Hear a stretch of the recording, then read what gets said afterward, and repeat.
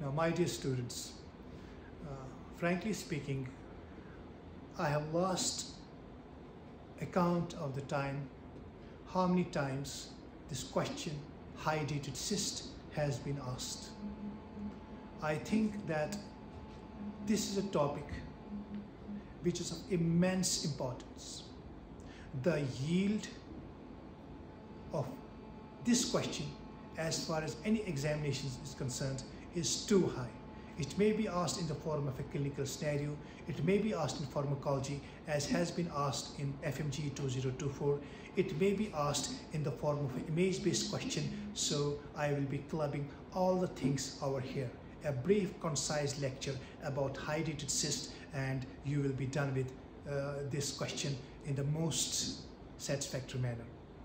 So as far as hydatid cyst is concerned, you have to remember first thing, even this is the level A question, very easy. What causes hydatid cyst? So you may be given choices and you have to remember this important echinococcus granulosus. So the hydatid cyst, preferably the hydatid cyst of the liver, what I am referring to is caused by the organism echinococcus granulosus. And this hydatid cyst is usually most common in liver, very important.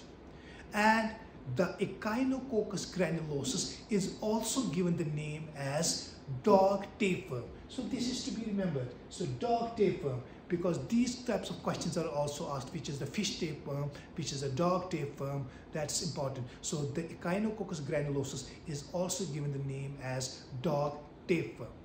Now you will go around studying its microbiology, the structure of the echinococcus, the scolex which comes into there, the circle of hooks, the proglottids, the life cycle, the dogs being infected, the sheep being infected, and how it is transmitted to the humans from through this chain. So that you also remember as far as the life cycle of Echinococcus granulosus is concerned. And you have to remember that there are these eggs which are ingested by the sheep and the sheep and they hatch themselves and in the gut they migrate from the blood to the various organs in the humans they migrate from the gut to the liver and to the various other organs like the brain. So we can have a clinical condition which we give the name as disseminated hydatosis. That means in addition to liver, all other organs may be affected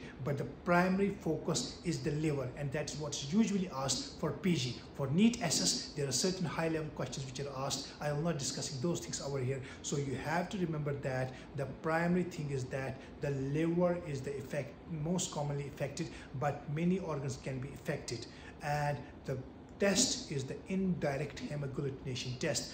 The lab diagnosis of this test is by virtue of various indirect tests and indirect hemagglutination test is one of the important tests for hydatid disease. Now, as you can see, I have told you that liver is the most commonly affected and you can see this area, this is the right lobe of the liver, this is the left lobe and usually a lesion, a cyst, which is usually calcified in the right lobe of the liver would be a hydatid cyst.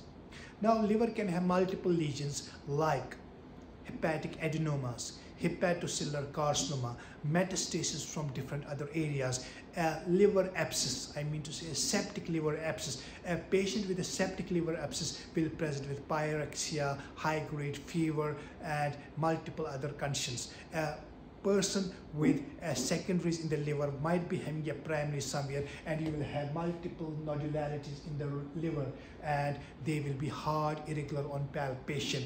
A patient with a hepatic adenoma will have a characteristic history like a female with a contraceptive use and uh, slight hepatomegaly and these are the things. So these are the associated conditions. But this liver once the liver is affected with hydatid cyst. This is the area, the right lobe of the liver is the most commonly area affected. And this image over here is a gross macroscopic appearance of a hydatid cyst which has been enucleated as such and this is the compact cyst which has been very nicely taken out and this is how a hydatid cyst would look on a gross morph morphology uh, as far as its appearance is concerned. Now over here, this is an image-based CT scan showing a hydatid cyst over here. So this is a hydatid cyst in here in the liver, okay? So this is the right lobe of the liver, while we have the hydatid cyst, one bigger and one smaller hydatid cyst. So this is to be remembered, asked many a times. One important thing I told you, echinococcus granulosus, and once I was mentioning you, I just made a typical um, definition that echinococcus granulosus causes hydatid cyst of the liver mainly because the echinococcus multilocularis causes hydatid disease of the lungs alveolar echinococcosis. So echinococcus multilocularis causes the hydatid disease of the lungs mostly. And echinococcus vogeli causes polycystic disease. There may be multiple disseminated cysts throughout and that is the common cause would be echinococcus vogeli so that's to be important to remember. And as I mentioned you again you see the liver is the most commonly affected but any organ like the lungs, the bone, the muscles, the kidneys, even the brain might be affected in disseminated hydatidosis. And usually a patient, how would a patient present? As I told you the differential diagnosis, but this patient would be presenting with abdominal tenderness, a slight bit of tender liver, the right hypochondric area will be tender, signifying secondary infection sometimes and sometimes it can be an incidental finding you may not have you do an ultrasound and it incidentally shows ultrasound of the abdomen it incidentally shows a hydatid cyst in the liver.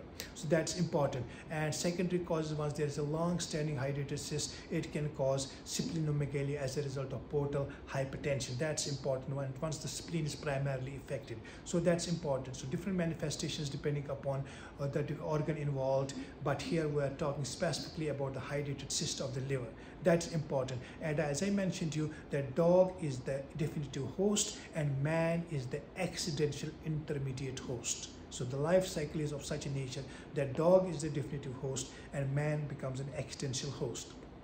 Now is this all associated with a hydatid cyst? No.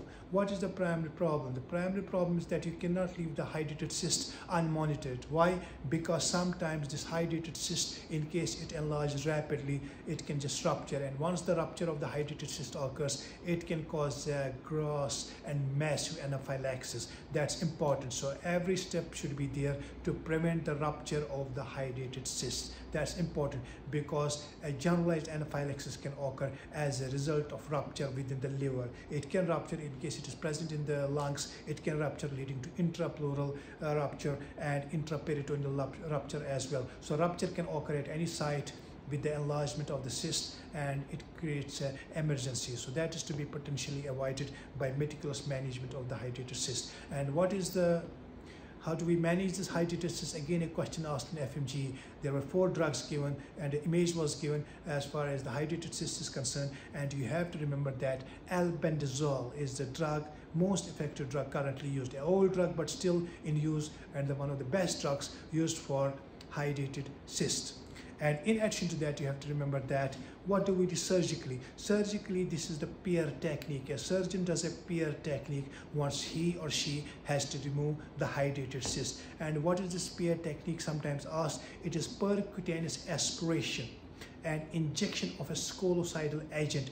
And then what we do, we just take out the cyst contents and repair the cyst. So that is important. So this PAIR technique, percutaneous aspiration involvement and the injection simultaneously, injection of the scolicidal agents which kills the uh, all these scoliosis and then it prevents further development of the hydatid cysts as well. So PAIR technique, albendazole, the right lobe of the liver, uh, the Echinococcus granulosus, the life cycle sheep and the dog, the man as an existential host, then the image-based question and the prevention of the, um, uh, I mean to say complications like the rupture are the prime focus which have to be taken care of. This answers most of the things which you will encounter once the hydatid cyst is asked from you.